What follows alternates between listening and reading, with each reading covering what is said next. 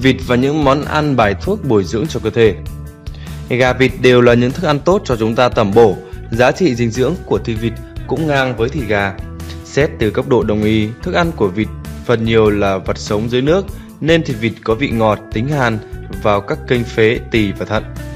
Có tác dụng từ bổ, dưỡng vị bổ thận, trừ nhiệt trong xương, tiêu thủy thủng, chỉ khiết nhiệt, trị ho hóa đàm, thích hợp cho người mang nhiệt trong người, người suy nhược cơ thể, chán ăn, phát sốt đại tiện, bón kết và thủy thủng dùng thịt vịt càng có lợi.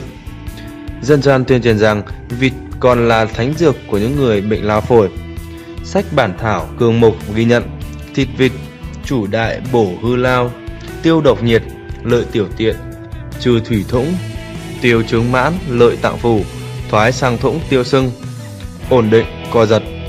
Thịt vịt mang tính hàn vì vậy người bệnh lạnh, đau vùng bụng, tiêu lỏng, đau sưng, đau bụng kinh, tạm thời không dùng.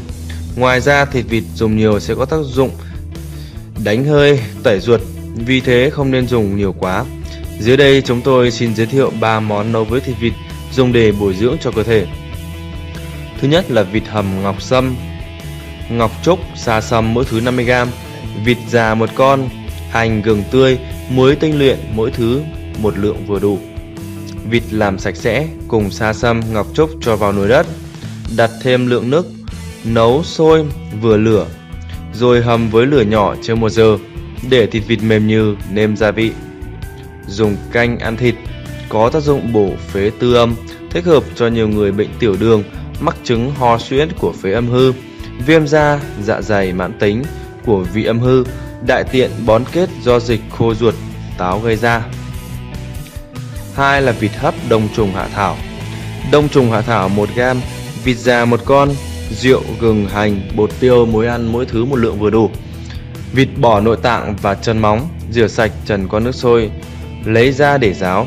Đông trùng hạ thảo rửa sạch bằng nước ấm.